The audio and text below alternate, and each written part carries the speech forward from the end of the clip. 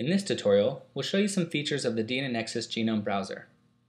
We'll launch the browser by clicking the Browse Genome link for the HG18 human genome.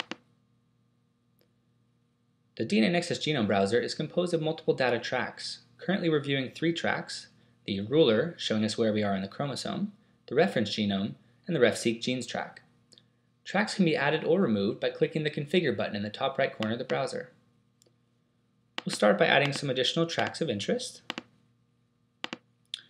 We're also going to add the alignment and coverage track for a sample that we previously uploaded.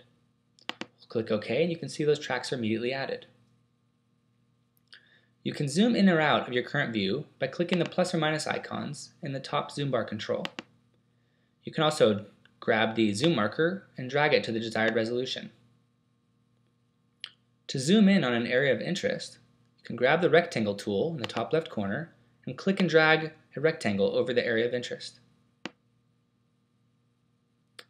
You can pan your display by clicking and dragging anywhere on the browser and moving your mouse to the right or left.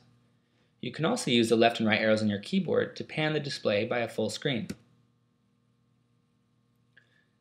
Tracks have additional controls for their rendering. We can see here for the alignment track, we can vertically scale the alignments using the plus or minus controls. We can also change the way that they're rendered by changing between lines or base pairs. Tracks also have their own help content. To view the help, click the small help icon in the top right corner of the track. Tracks can be resized by clicking and dragging the bottom border of the track to the desired height. Tracks can also be rearranged. You can do this by clicking on the title of the track and dragging it to the desired location. Lastly, to export a screenshot of your current view, right-click anywhere on the browser select Save as PNG, and you'll be prompted to save a screenshot to your local file system.